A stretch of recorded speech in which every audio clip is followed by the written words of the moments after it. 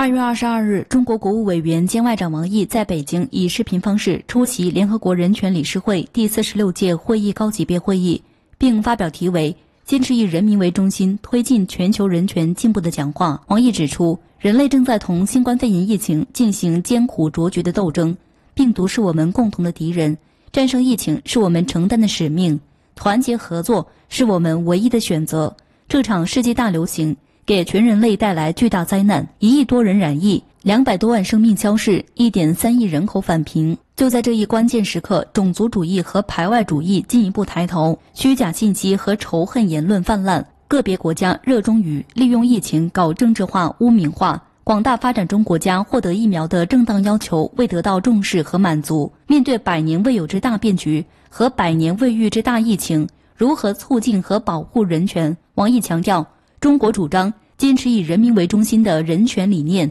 坚持人权普遍性与各国实际相结合，坚持国际人权对话与合作。人权不是少数国家的专利，更不能成为向别国施压、干涉内政的工具。各国要恪守联合国宪章宗旨和原则，在平等和相互尊重的基础上开展人权交流与合作，推动国际人权事业健康发展。事实上，面对突如其来的新冠肺炎疫情，中国政府坚持人民至上、生命至上，始终把每一个人的安全和健康放在第一位，全力捍卫人的生命价值和尊严。我们还开展了新中国历史上规模最大的全球紧急人道行动，向有需要的各国和国际组织施以援手，践行人类卫生健康共同理念。同时，中国是最早承诺将疫苗作为全球公共产品的国家。我们克服自身困难。正在向五十三个有需求的国家提供无偿援助，向二十二个愿意购买的国家出口疫苗。